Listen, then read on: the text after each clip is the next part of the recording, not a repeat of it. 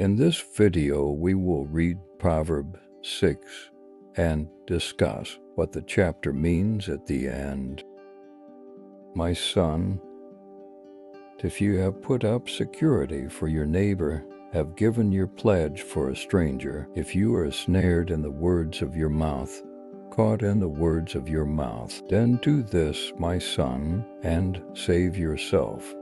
For you have come into the hand of your neighbor Go, hasten, and plead urgently with your neighbor. Give your eyes no sleep and your eyelids no slumber. Save yourself like a gazelle from the hand of the hunter, like a bird from the hand of the fowler. Go to the ant, O sluggard, consider her ways, and be wise. Without having any chief, officer, or ruler, she prepares her bread in summer and gathers her food in harvest. How long will you lie there? O sluggard, when will you arise from your sleep? A little sleep, a little slumber, a little folding of the hands to rest, and poverty will come upon you like a robber, and want like an armed man. A worthless person, a wicked man, goes about with crooked speech, winks with his eyes, signals with his feet, points with his finger, with perverted heart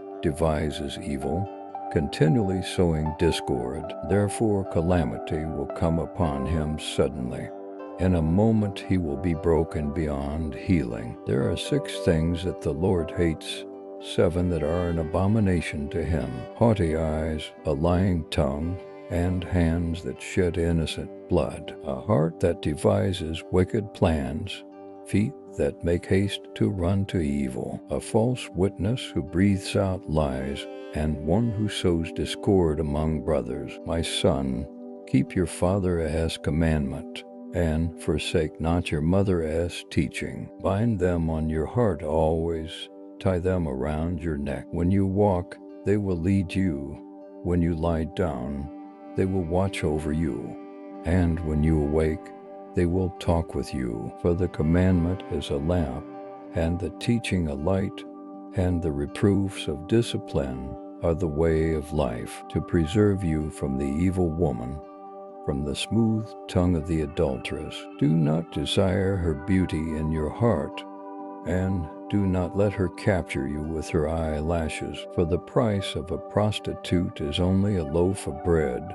But a married woman hunts down a precious life. Can a man carry fire next to his chest and his clothes not be burned? Or can one walk on hot coals and his feet not be scorched. So is he who goes into his neighbor's wife. None who touches her will go unpunished. People do not despise a thief if he steals to satisfy his appetite when he is hungry. But if he is caught, he will pay sevenfold.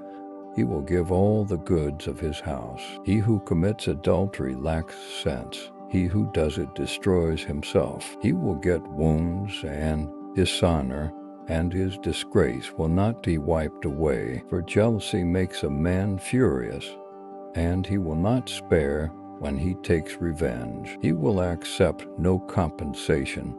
He will refuse though you multiply gifts. Proverbs 6 explanation, verses 1 through 5. The first lesson relates to wisely caring for a person's wealth.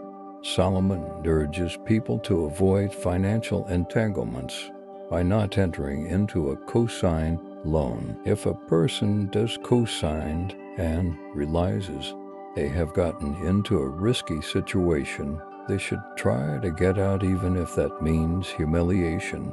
This does not prohibit all debt or lending. It strongly advises being careful not to waste what one has earned verses 6 through 11. Laziness is another way a person may become poverty stricken. Solomon tells us to consider the ant. The ant needs no supervision. It works hard to meet its needs both in present and in its future. Unless a person works, poverty will overtake them, just as a robber or an armed man overtakes his victim. The general principles are seen in common sense. A wasted opportunity cannot be made up. 12 through 19 points out that a wise person refuses to stir up strife. This is meant as general wisdom. In most cases, the ones that aggravate trouble are the ones who are likely to suffer from it. A worthless person is described as a person who sows discord. Here is a list of attitudes God hates arrogance, deceit, violence against innocent, an evil heart, and lies. If you was to summarize their sins, it would be someone who creates controversy or hatred among others. Verses 20 through 23. Solomon is saying the lessons he is teaching will guide and keep you from danger. As with others' statements, this is a question of risk versus reward. Making good choices does not absolutely guarantee a good outcome. Evil and chance can still happen. Those who follow wise paths are less likely to run into trouble. Verses 24 through 35, Solomon says to avoid falling prey to smooth talking, alluring beauty, and enticing glances. He compares a disapproved relationship to that of carrying fire next to the chest and to walking on hot coals. He says an adulterer is senseless and self destructive. People may have sympathy for one who is starving and steals bread, but not for a man who violates his neighbor's wife. They that are adulterers risk suffering from revenge and shame. Thank you for watching. Subscribe for more daily Christian intent.